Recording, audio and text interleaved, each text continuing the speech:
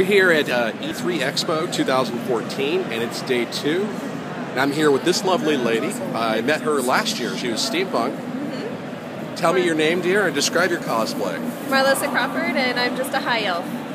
Just a high elf. From uh, are you inspired from any particular video game? Um, the Elder Scrolls series, the Dragon Age series. I mean, just.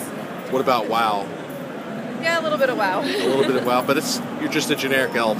Your own take. Yeah. Your own take on it. Let me pan out, take a look. Very impressive. And what material is your dress made out of? Um, I don't remember. It just it was beautiful and I bought it. So. Oh, okay. You bought it. You didn't make it yourself. Oh no, it's handmade. So. Oh, it is handmade, but I mean, no, did I you... did not make it, it, but it is handmade. It is handmade. Very impressive. That's why I thought you maybe had made it yourself. I usually um, make my costumes. This one I did not. Well, you wear it well, and uh, very cool, very cool. And it's good to see you again. Yeah. And uh, it's cool. I have your permission to use this on AmberStreet.com. Of course.